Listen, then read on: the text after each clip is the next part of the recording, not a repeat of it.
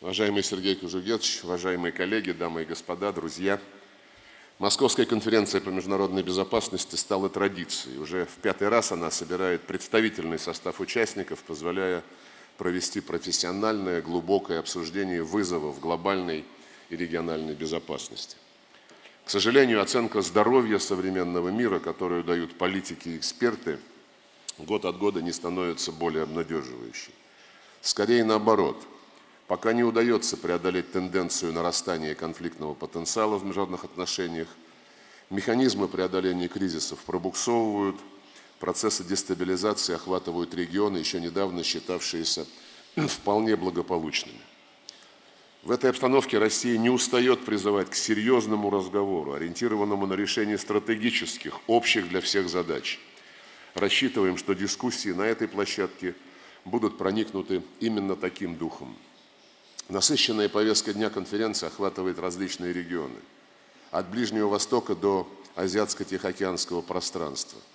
Однако в центр внимания закономерно поставлена проблема международного терроризма. Ведь достигшие беспрецедентного масштаба действия террористов направлены против всей человеческой цивилизации, представляют собой системный вызов миропорядку, основанному на международном праве и нормах цивилизованного поведения.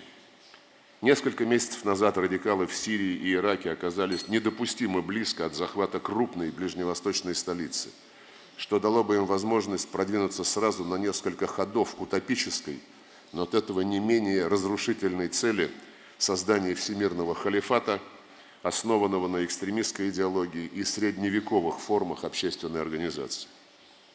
Ясным пониманием необходимости не допустить подобного развития событий было продиктовано российское решение направить в Сирию в ответ на обращение руководства этой страны воздушно-космические силы. Россия – единственная держава, продемонстрировавшая реализм в сирийском конфликте. Это не мои слова, это слова бывшего премьер-министра Франции Франсуа Вийона. Действия ВКС России, скоординированные с правительственными войсками, а затем и с отрядами патриотической оппозиции, позволили серьезно потеснить террористов и способствовали созданию условий для договоренности о прекращении боевых действий, оказании гуманитарной помощи нуждающимся, начале процесса политического урегулирования в Сирии. Это стало возможным в контексте взаимодействия между Россией и Соединенными Штатами. В этом вопросе был проявлен реализм, по-настоящему ответственный подход. Это позволило не только наладить тесную координацию между военными двух стран – но и выступить Москве и Вашингтону в роли сопредседателей усилий по преодолению сирийского кризиса. Свой вклад внесли и вносят и другие партнеры, которые входят в состав Международной группы поддержки Сирии. Такая работа по существу представляет собой движение в направлении реализации инициативы создания широкого антитеррористического фронта, с которой президент Путин выступил на Генеральной Ассамблее ООН. Конечно, впереди еще очень много препятствий. Для того, чтобы справиться с террористической агрессией, а это в любом случае потребует длительного времени и огромных усилий, необходимо до конца проделать работу над ошибками и отказаться от тех действий и политических решений, которые столкнули регион Ближнего Востока и Северной Африки на наклонную плоскость общей деградации обстановки с пока еще неясным исходом. Речь о признании, и не только на словах, но и в реальной политике – культурно-цивилизационного многообразия современного мира, право, народам, право народов э, самим определять свою судьбу, не руководствуясь навязываемыми извне рецептами и ценностями. Иначе экстремисты и дальше будут вербовать сторонников под свои знамена, представляя насилие в качестве единственного способа отстаивания собственной идентичности для народов, которые не числятся сегодня в первых строчках глобальных рейтингов. Следует также решительно прекратить попытки использования террористических группировок в качестве инструмента в борьбе за позиции в новом региональном балансе сил или для сведения счетов с непонравившимся режимом. Крайне опасно окрашивание конфликтов на Ближнем Востоке в цвета межконфессиональной розни, в том числе суннитско-шиитского противостояния. Очевидно, что ставка на создание моноконфессиональных обществ – не только противоречит современным реалиям, но и является рецептом затягивания конфликтов на годы и десятилетия.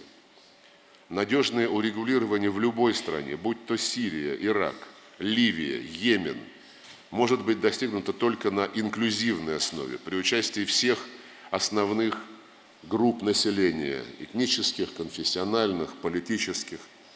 Исходя из этого, мы продолжаем настаивать на подключении сирийских курдов к переговорам о будущем своей страны в полном соответствии с закрепленной в резолюции 2254 Совета Безопасности ООН дорожной картой сирийского урегулирования.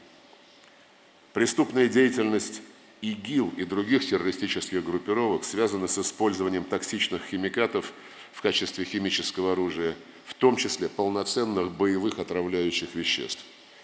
Известно, что террористы получили доступ к соответствующей технической документации, имеют в своем распоряжении мощности по производству химического оружия и привлекают иностранных специалистов. В этой связи в начале марта Россия выдвинула инициативу о разработке в рамках конференции по разоружению Международной конвенции по борьбе с актами химического терроризма. Отмечаем заинтересованную реакцию партнеров. Более того, ряд из них уже предложили расширить возможный охват конвенции, включив в нее также меры по противодействию биологическим террористическим угрозам. Убеждены, что в случае реализации этих идей международное сообщество получит эффективный инструмент противодействия угрозам терроризма, связанным с расползанием оружия массового уничтожения или соответствующих материалов. Россия заинтересована в построении демократического, процветающего Ближнего Востока. Исходим из того, что этой же задачей руководствуются наши международные партнеры. Без сомнения, ее реализации – значительно способствовало э, купированию негативной динамики в зоне Палестино-Израильского конфликта и возвращению израильтян и палестинцев за стол переговоров. Россия продолжит усилия в этом направлении, мы будем продвигать и другие наши идеи, направленные на то, чтобы разрядить обстановку в регионе Ближнего Востока и Севера Африки.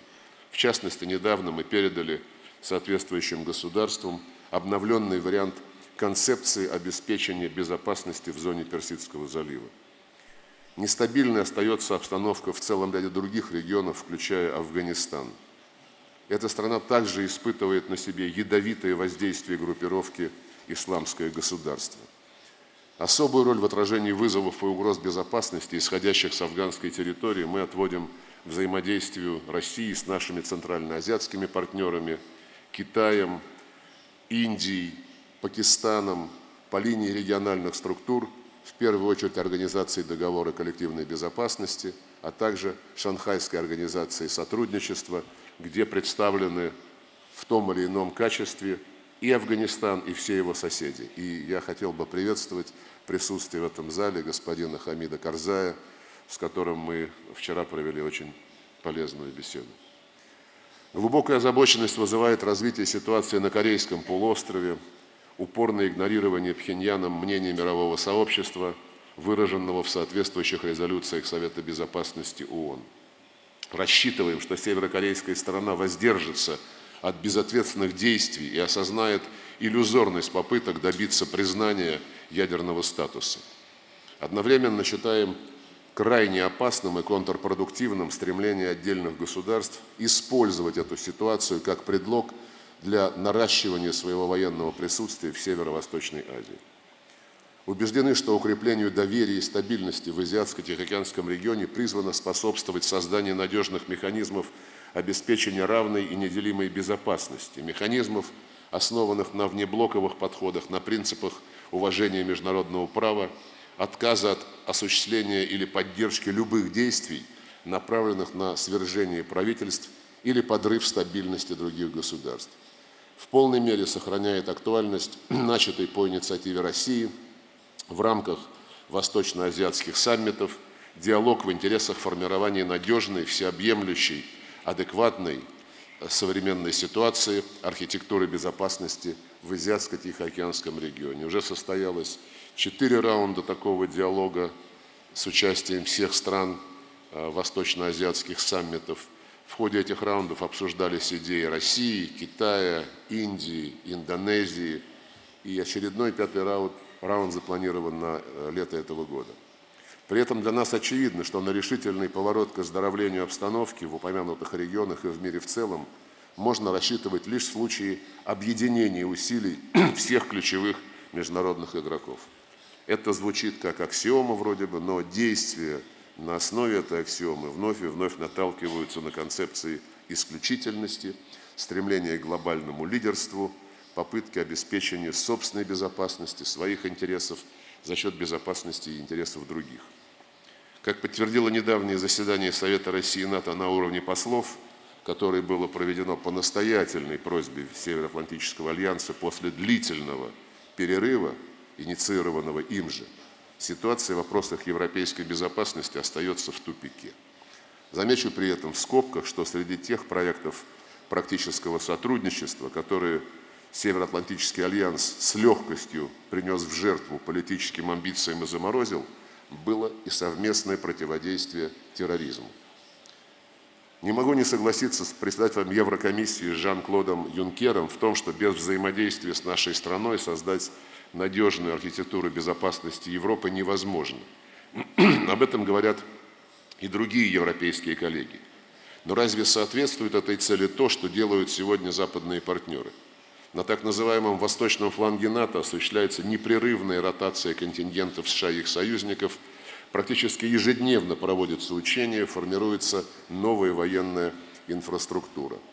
В совокупности эти шаги, конечно же, противоречат букве и духу основополагающего акта России и НАТО, серьезно меняют военно-политический ландшафт, особенно в северо-восточном регионе Европы, превращая его из наиболее спокойного и стабильного в военном отношении, каким он был еще совсем недавно, в зону повышенной напряженности. Существенным деструктивным фактором, создающим риски для стратегической стабильности, остаются действия США и их союзников в сфере противоракетной обороны, в сфере создания глобальной ПРО.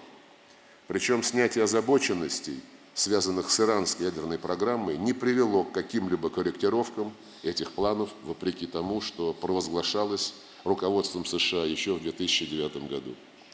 Новым ударом по региональной и международной стабильности стало бы появление элементов глобальной противоракетной обороны США в Северо-Восточной Азии, в конкретном плане на Корейском полуострове. На фоне официальных заявлений натовского руководства о необходимости сдерживания России – наращивании сил Альянса вблизи наших границ, странно выглядит предложение западных партнеров о существенном обновлении мер укрепления доверия и безопасности, о повышении уровня транспарентности. Россия, разумеется, не, не против укрепления доверия по военной линии, но оно должно быть взаимным, учитывающим интересы всех сторон. Для, для того, чтобы диалог на эту тему был серьезным и продуктивным, необходимо создать соответствующие условия – и одно из ключевых – отказ Запада от антироссийского курса, который осуществляется, кстати, под аккомпанемент заклинаний насчет того, что Россия напрасно видит в НАТО угрозу. Необходимо, наконец, отключить питание мощного генератора напряженности в европейских делах, каким является кризис на Украине. Единственный путь – честно реализовать Минский комплекс мер и, прежде всего, заставить киевские власти выполнить взятые на себя обязательства. Осознание таких действий наших западных партнеров растет, но пока еще они стесняются говорить об этом громко и публично. Надеюсь, что в своих закрытых контактах с руководством Украины а, эту линию они а, стали проводить гораздо более настойчиво. Уважаемые дамы и господа, международные отношения находятся на перепутье. Либо ситуация будет развиваться в направлении расширения пространства хаоса и анархии – либо будет налаживаться коллективная работа по развязыванию конфликтных узлов, по формированию отвечающей реалиям 21 века системы глобального управления. Для этого нужно не вставать в позу, не пытаться никого учить, не навязывать никому свои собственные стандарты, не наказывать никого за свои собственные ошибки, а садиться за честные, открытые переговоры, и искать баланс интересов.